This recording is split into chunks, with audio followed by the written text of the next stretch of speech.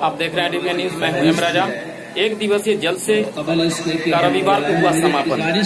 دربھنگا علی نگر استھت نیلپور گاؤں میں رویوار کی سنکھیا ایک دِوسی جل سے کے دوران مولانا مدب الرحمان سیتامڑھی نے کہا، شراب پینے والے شخص کا منہ مرنے کے بعد ہو جاتا ہے۔ اب آئیے ڈالتے ہیں جلسے کی تقریر پر ایک نظر۔ اس کا خیال نہیں رکھا گیا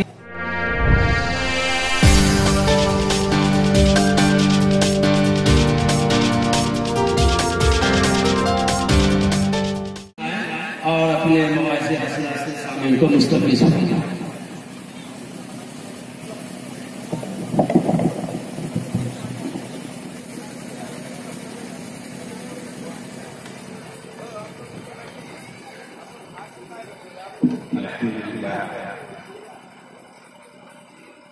الحمد لله نحمده. أعوذ بالله من الشيطان الرجيم. بسم الله الرحمن الرحيم. إن الله لا يغير ما بقوم حتى يغيروا ما بأنفسهم. صدق الله العظيم.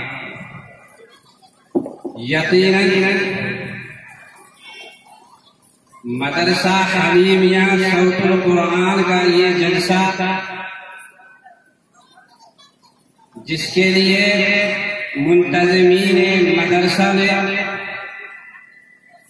باشن لگانے نیل پور اور اصحاب خیر کی کوششوں سے منعقد ہو رہا ہے۔ ہم سب کے لیے باعث مسرت ہے۔ اللہ سبحانہ و تعالی قرآن مقدس میں اعلان فرماتا ہے، لئن شکرتم لأزیدنکم ولئن کفرتم ان عذابی لشدید۔ اگر تم شکریہ ادا کرو گے، تو میں تمہیں زیادہ دوں گا۔ اور اگر تم نہ شکری کرو گے، تو یاد رکھو میرا عذاب سخت ہے۔ علماء نے لکھا زمانے میں۔ اور ہر دور میں یہ منصوبہ رہا ہے۔ اسلام مخالف طاقتیں اسلام اور مسلمانوں کو کچلنے کے لیے بھرپور کوشش کرتے رہے۔ اسلام مخالف طاقتیں اسلام اور مسلمانوں کو دبانے کی بھرپور کوشش کرتے رہے۔ لیکن اسلام کی فطرت میں قدرت نے لچک دی ہے۔ اسلام کی فطرت میں قدرت نے لچک دی ہے۔ یہ اتنا ہی ابھرے گا جتنا کہ دبائیں گے اسلام کا آفتاب غار ہرا سے نمودار ہوا۔ نبی پاک حضرت محمد الرسول اللہ صلی اللہ علیہ وسلم نے مکہ مکرمہ میں کلمہ طیبہ لا الہ الا اللہ محمد الرسول اللہ کی آواز لگائی، صدا لگائی۔ دشمنان اسلام مخالف ہو گئے۔ یہ آواز ایک اجنبی آواز سمجھی جا رہی تھی۔ اور پوری تیاری کے ساتھ، پوری قوت کے ساتھ، پورے حوصلے کے ساتھ اسلام مخالف طاقتیں اسلام کو دبانے کے لیے میدان عمل میں آ گئی آپ جانتے ہیں، غزوہ بدر اس نام سے ایک غزوہ مشہور ہے۔ ایک طرف مٹھی بھر مسلمان تھے، جس کی تعداد تین سو تیرہ تھی، اور ایک طرف کفار و مشرقین کی تعداد جو ہزاروں میں تھی، پوری قوت کے ساتھ، پوری جرت کے ساتھ، پورے غرور کے ساتھ اس لیے آئے تھے کہ ان مٹھی بھر جماعت کو ختم کر دیا جائے گا۔ مسلمانوں کو اس سرزمین سے مٹا دیا جائے گا۔ اللہ سبحانہ و تعالی کی مدد آئی۔ اور پھر یہ کہ ان کے پاس پوری طاقت تھی جنگی سامان بھی تھے لیکن ہوا کیا کم من فئت قلیلت غلبت فئت کثیرت باذن اللہ اللہ سبحانہ و تعالی نے اس مٹھی بھر جماعت کو کامیاب فرمایا اور وہ جو ناپاک ارادے رکھتے تھے جو مسلمانوں کو کچلنا چاہتے تھے جو مسلمانوں کو مٹانا چاہتے تھے، دین اسلام کو نشت و نابود کرنا چاہتے تھے۔ ان میں سے ستر سردار مارے گئے، جہنم رسید ہوئے اور انہیں بدر کے کنواں میں ڈال بھائیوں، بزرگوں اور دوستوں، اسلامی تاریخ ہمیں یہ بتلاتی ہے۔ اسلامی تاریخ ہمیں یہ بتلاتی ہے ہر زمانے میں اللہ سبحانہ و تعالی نے اسلام کی مسلمانوں کی رہنمائی فرمائی۔ یہ اسلام زندہ رہنے کے لیے آیا ہے۔ مسلمان ایک زندہ قوم ہے۔ یہ نصف و نابود ہونے کے لیے نہیں آیا۔ یاد رکھیے اور خوب ڈھنگ سے یاد رکھیے۔ جس دن اس روئے زمین پر اللہ سبحانہ و تعالی کا نام لینے والا کوئی نہیں رہے گا۔ اس دن اللہ سبحانہ و تعالی کائنات کے اس نظام کو ختم فرما قیامت واقع ہو جائے گی۔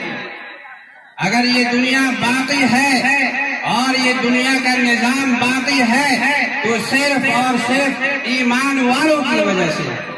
صرف اور صرف مسلمانوں کی وجہ سے ہے۔ اللہ کے نبی محمد الرسول اللہ صلی اللہ علیہ وسلم ارشاد فرماتے ہیں، ان دنیا خلقت لکم و انکم خلقتم للآخرہ۔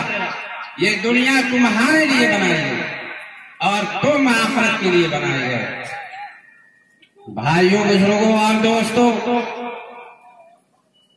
ہمارے اس ملک میں اور یہ ایک ایسا ملک ہے کہ اس ملک کی تعمیر میں ہمارا خون شامل ہے۔ یہ وہ ملک ہے کہ اس ملک پر ہمارے اکابرین نے ایک سال نہیں، دو سال نہیں، پانچ سال اور دس سال نہیں، بلکہ آٹھ سو سال تک حکومت کی۔ اس ملک کی مٹی میں ہمارا خون شامل اور پھر بد قسمتی سے غیروں کا قبضہ ہو گیا۔ بد قسمتی سے غیروں کا قبضہ ہو گیا۔ انگریزوں کا قبضہ ہو گیا۔ انگریزوں نے اس آزاد ملک پر قبضہ کرنے کے بعد اپنی قیادت کو چمکانے کے لیے اور اپنی حکومت کا سکہ جمانے کے لیے اس آزاد ملک کے ذرے ذرے کو پامال کیا اور یہاں کے ذرے ذرے کو غلام بنا کر رکھا۔ یہاں کے علماء کو، یہاں کے عمرا کو، یہاں کے شہزادوں کو، اور یہاں کے ولی عہد کو، یہاں کے راجا اور مہاراجاؤں کو یہاں کی عورتوں کو سر بازار زلیل اور رسوا کیا۔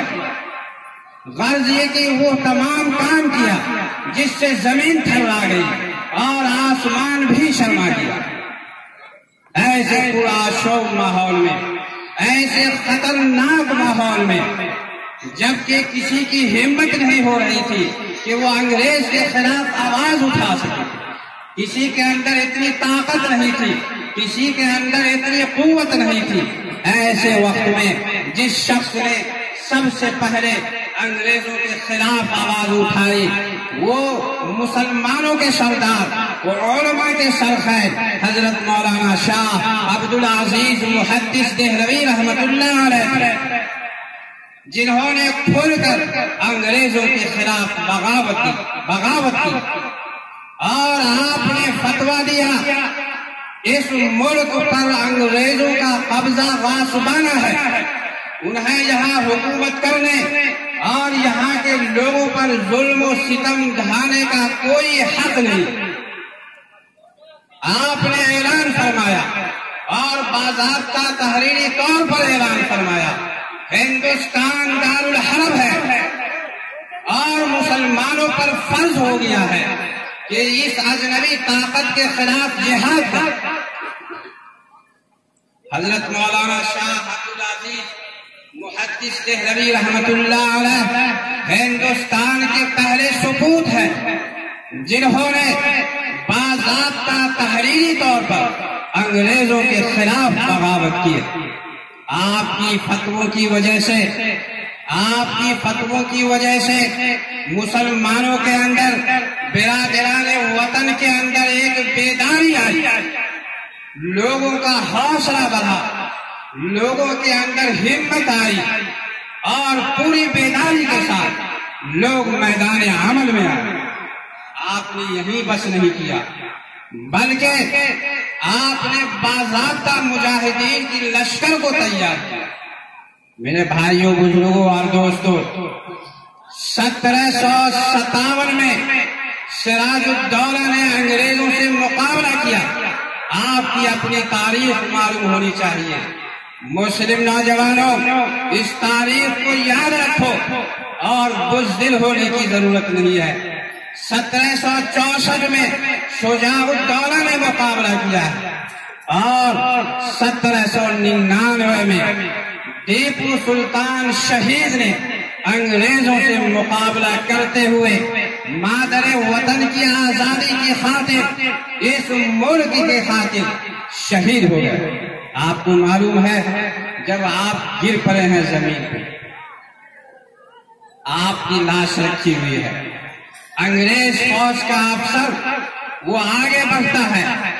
ڈر کے مارے، آپ کی چہرے پر جو روک تھا، جو دبدبا تھا جو حیبت تھی، وہ دیکھتا ہے تو اس کے اندر اتنی ہمت نہیں ہوتی ہے کہ وہ آگے بڑھ سکے، وہ پیچھے بھاگتا، پھر دیکھتا ہے پھر آگے بڑھنے کی ہمت کرتا، پھر پیچھے بھاگتا۔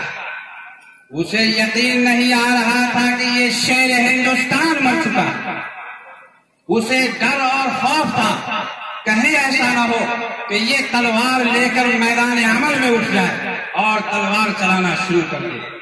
کئی بار اس طرح کی حرکت کرنے کے بعد جب اس کو یقین ہو جاتا ہے کہ واقعی میں یہ مر چکا، تب اس کے لاش کے پاس انگریز فوج کا جنرل ہاؤس ایک افسر اعلان کرتا ہے کہ آج سے ہندوستان ہمارا۔ میرے بھائیوں، بزرگوں اور دوستوں، اس اس سے پہلے کسی ہندوستانی کی موت پر کسی ہندوستانی کی موت پر کسی انگریز افسر نے اس طرح کا کوئی تبصرہ نہیں کیا۔ انگریزوں کی میٹنگ ہوتی ہے، انگریز افسروں کی میٹنگ ہوتی ہے۔ اس ہندوستان میں ہماری حکومت کیسے مستحکم رہ سکتی ہے؟ ہم یہاں کیسے حکومت کر سکتے ہیں؟ آپس میں یہ بات طے ہوتی ہے۔ مشورے میں یہ طے ہوتا ہے کہ جب تک اس ملک میں علماء ہیں، اس ملک میں مدارس ہیں، جب تک اس ملک میں مسلمان ہیں، ہم یہاں چین سے حکومت نہیں کر سکتے۔ اس لیے ضرورت اس بات کی ہے کہ یہاں کے مدرسوں کو ختم کیا جائے، یہاں کے علماؤں کو ختم کیا جائے۔ اور قرآن مقدس جو آسمانی کتاب ہے، اس کو ختم کیا جائے۔ اس منصوبے کے تحت، اس پلاننگ کے تحت اب ایک اور آزمائشی دور شروع ہو گئی یہاں کے مسلمانوں پر۔ مورخین لکھتے ہیں، قرآن پاک کے کئی لاکھ نسخے کو انگریزوں نے جمع کر کے دریا میں پھینک کہ قرآن مٹ جائے گا اور نہ معلوم کتنے ہی حفاظ کرام کو گولیوں کا نشانہ بنائے اور انگریز مورخ ڈاکٹر ٹامسن لکھتا ہے اپنی یادداشت میں، چودہ ہزار علماء کو پھانسی پر لٹکایا گیا۔ دلی کے چاندنی چوک سے لے کر پشاور تک کوئی درخت ایسا نہیں تھا جس پر علماء کی گردنیں نہ لٹکتی۔ یہ انگریز مورخ لکھتا ہے۔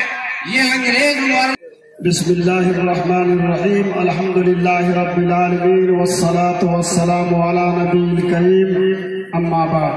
فاعوذ باللہ من الشیطان الرجیم، بسم اللہ الرحمن الرحیم.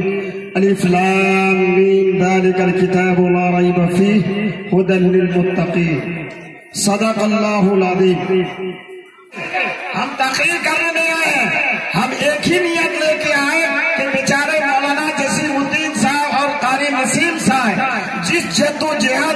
پریشانی اور کوششوں کے ساتھ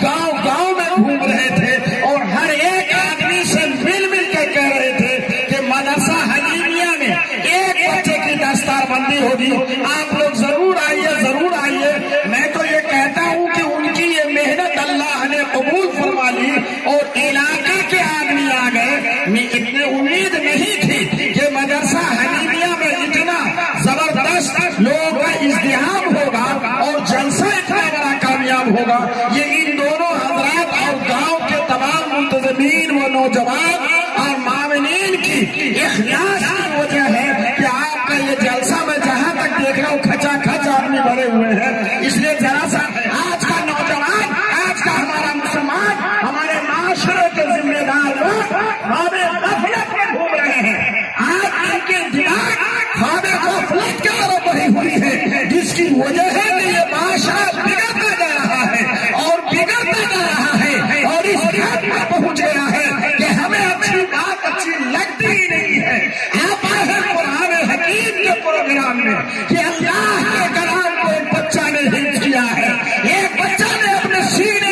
اس پارے کو محفوظ کیا ہے۔ والد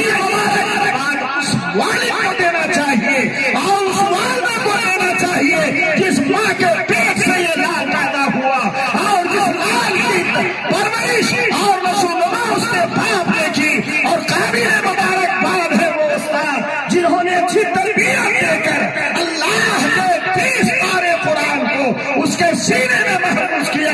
قرآن خدا سے پہلے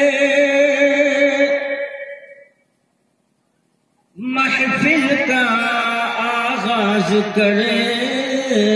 محفل کا آغاز کرے۔ ذکر خدا پاک سے پہلے محفل کا آغاز کرے۔ محفل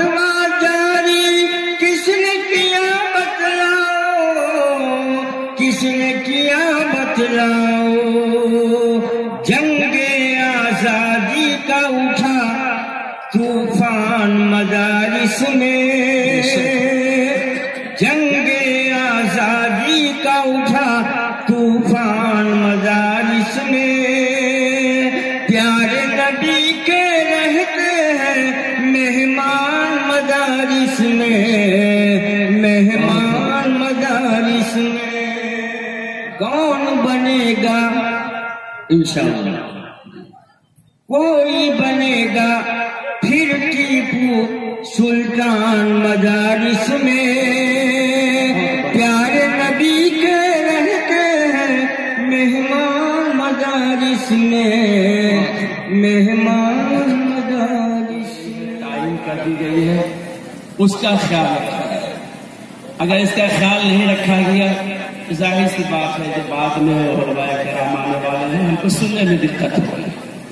تو جیسا کہ بتایا گیا ہے کہ مولانا عبد الوہاب صاحب بھی پوری ایک قدر طبیعت ناساز ہے اور پھر وہ بیان کے بعد گھر واپس ہونا چاہتے ہیں۔ تو میں مولانا سے گزارش کرتا ہوں کہ آپ تشریف لائیں۔ اور اپنے گرا قدر بیان سے استفادہ کا موقع عنایت فرمائیں حضرت عبد الوہاب صاحب بھی پوری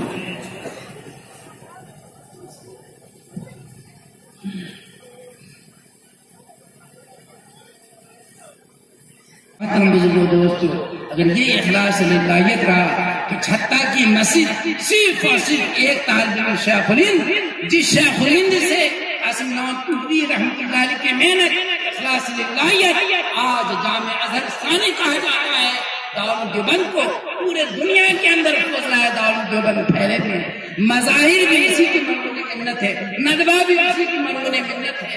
اور ان دو اداروں کے علاوہ ہندوستان میں جتنے بھی ادارے ہیں، یہ سب دار دیوبند کی اولاد کی بند دینی بھائی۔ حافظ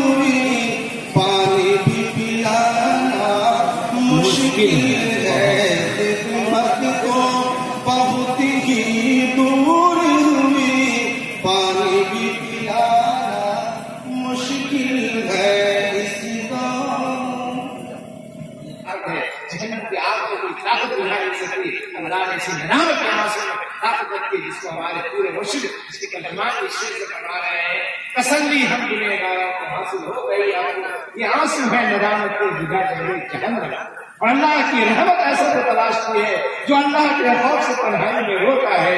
جی اللہ روتا ہے، جو بھی اپنے گناہوں کو سوچ کر رحمت تلاش کرتی ہے۔ دوست اللہ کو بڑے محروم ہیں۔ اس لیے اپنی جیب پر نام کے وہاں سے کھلے ہوئے ہیں۔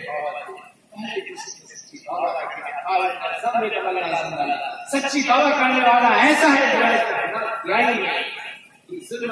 ہوگی۔ مریدوں نے جو اپنی زندگی بیان کی، اس کے بعد مولانا فرماتا ہوں کیا؟ کیا؟ ارے میاں، تم جو زندگی جیتے ہو، وہ کوئی زندگی ہے کیا؟ حضرت، کیا زندگی ہے؟ تو کہتے ہیں مولانا سنیے فرماتے ہیں حضرت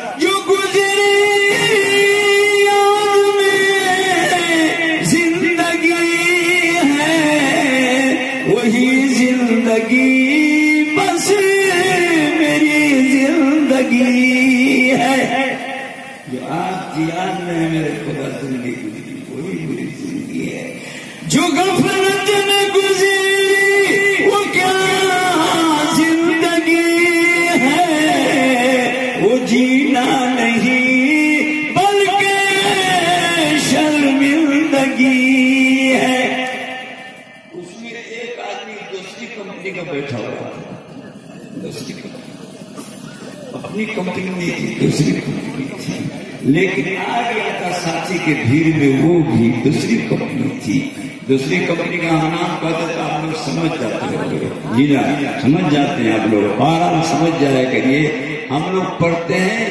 اللهم صل على محمد وعلى آل محمد كما صليت على إبراهيم وعلى آل إبراهيم إنك حميد مجید۔ اور وہ دوسری کمپنی درود شریف پڑھتی ہے۔ صلاة و سلام علیکہ یا رسول اللہ۔ اور وہ پہنچا دیتی ہے ایک ہی مرتبہ آسمان پر جی آسمان پر جی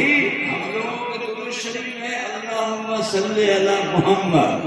لیکن ان لوگوں کے دونوں کے دور شریف میں دور دور تک محمد کا پتہ نہیں۔ آپ ریسٹ کر لینا، کتابوں میں دیکھ لینا۔ ان کے دور شریف میں محمد کا کہیں پتہ نہیں ہے۔ نور اللہ تو ہے، نور اللہ تو ہے۔ حبیب اللہ تو ہے، ہمیں خلق اللہ تو ہے، لیکن محمد کا کہیں پتہ نہیں ہے۔ حضور صلی اللہ علیہ وسلم کہہ رہے ہوں گے کہ اے میاں، رات بھر درودو پڑھے لیکن ہمرے یہاں ایک کو نہ پہنچ لو نور اللہ کیا پہنچ کے رہی ہے، ایک کو۔ پہنچا۔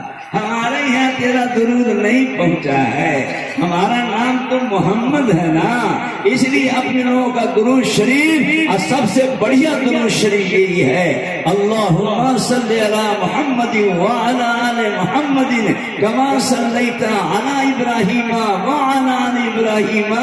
انکا حمید مجید۔ تو وہ دوسری کمپنی کا بھی بیٹھا ہوا تھا۔ مولانا کے کے ساتھ چلا گیا تھا۔ لیکن اس نے بھی ایک سوال جوڑ لیا۔ کہا، حضرت حضرت حضرت۔ رات دن ہم اس اللہ کی محبت میں کھلتے رہتے ہیں۔ اللہ کا ذکر بھی بہت کرتے ہیں، سب کچھ کرتے ہیں۔ لیکن حضرت، یہ بتا دیجیے کہ میرے دل میں اللہ کی محبت کیوں نہیں آتی ہے؟ میرے دل میں رسول اللہ کا عشق کیوں نہیں آتا ہے؟ میرے دل میں جناب محمد الرسول اللہ کی طرف کیوں نہیں آتی ہے؟ حضرت سے کہا تیرے دل میں ہاں بتاؤں کہ ہاں حضرت بتا دیجیے، عمل کرو گے عمل کرو گے نا جی کہاں عمل کریں گے؟ جو جو بات اس میں ہے اس کو چھوڑ دو گے نا کہا کہ ہاں چھوڑ دیں گے؟ کہا سنو؟ تمہارے دل میں میرے نبی کیوں نہیں آتے ہیں؟ اللہ کی محبت کیوں نہیں آتی ہے؟ اور ان مجھے شاعری میں کہا، کیا کہا؟ تیرے دل کو مسئلہ Yeah!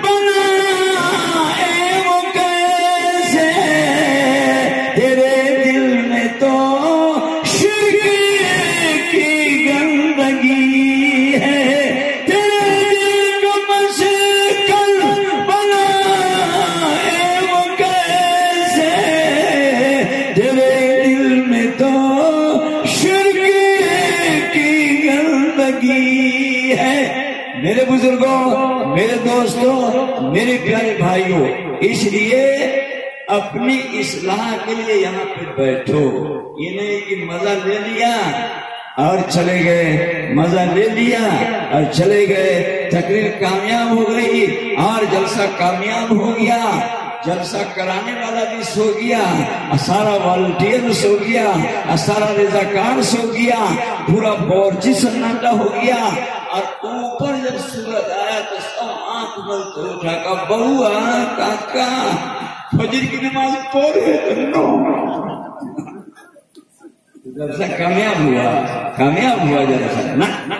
فجر کی نماز پڑھو۔ مسلمان تو نماز چھوڑتا ہی نہیں ہے۔ ہم نے آپ کے پاس سب سے پہلے حدیث شریف پڑھی ہے، جناب محمد الرسول اللہ کی مجلس لگی ہوئی تھی۔ آپ لوگوں کی مجلس لگی ہوئی ہے۔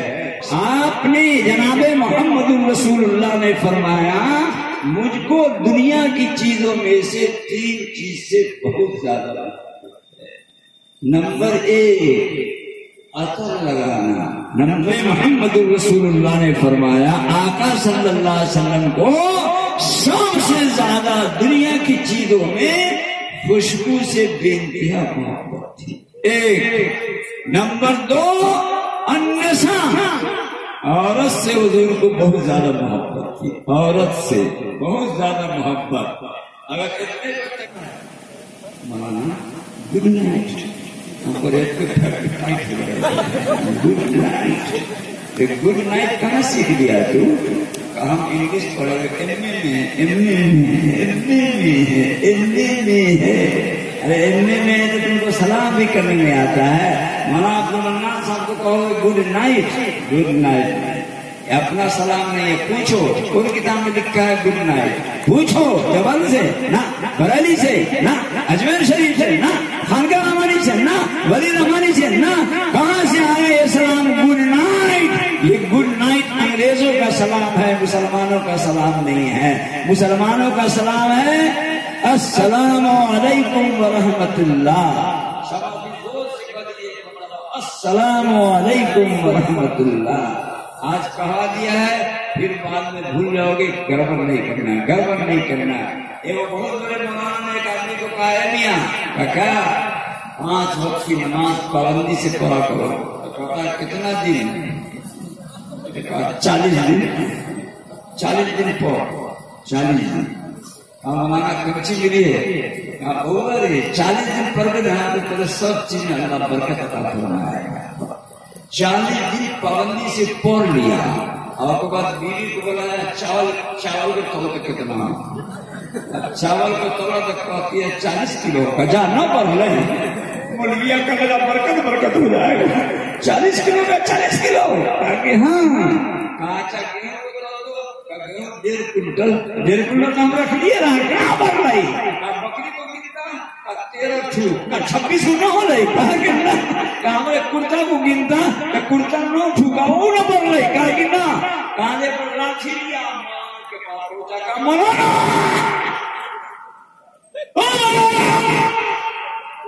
لاٹھی نیچے اتار کے بات کرنا کرنا یہی پڑ رہی ہے کہانی پڑ رہے گا اس لیے کہ جاہل تھا نا جاہل جاہل دیکھے نا کتنا اچھا جہاں اور ہل جہاں اور ہل جہلوا کو دیکھیے گا جہاں جاتا ہل کداری لے کے چنگاری لے کے کھرپی لے کے جی بیل کو ڈھانک کر۔ بھینس کو۔ ہاں اور مولانا کو جہاں دیکھیے گا۔ بالکل رائٹ اور بالکل ٹائٹ یہ کیا کرتا ہے؟ میرے بزرگوں، میرے دوستوں میں چار